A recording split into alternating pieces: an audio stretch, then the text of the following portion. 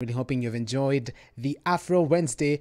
Let's now go to Juja. Jesus Christ, because uh, there's uh, this type of love where the husband decides he's going to get the second wife, but then things just do not go right with the family in the event that the husband dies. Hear me out. So, this uh, Juja family went to court. I don't wish to say the names.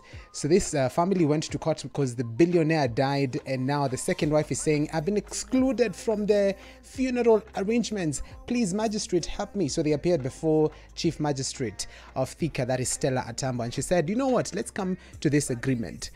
I have ruled out. I've ruled that um, what we're going to do is." We're going to bury the billionaire. He's going to rest on the border of your compound where some bit of the grave is on the first wife's side, some bit of the grave is on the second wife's side. They said, okay, but today there's a development.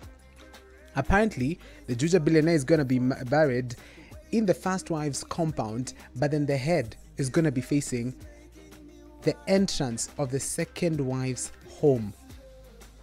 Let me tell you, if you choose by by any means to get a second wife before before you die. All right not even before you die because nobody knows when they're going to die. Just please make sure you make it clear that when i die this is where i want to be buried.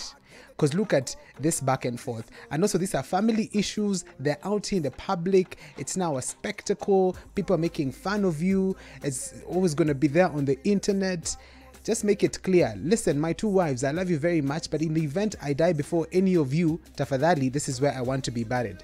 Because imagine um, uh, the gossip around that area even the children are going to be traumatized. My goodness. What this is just crazy.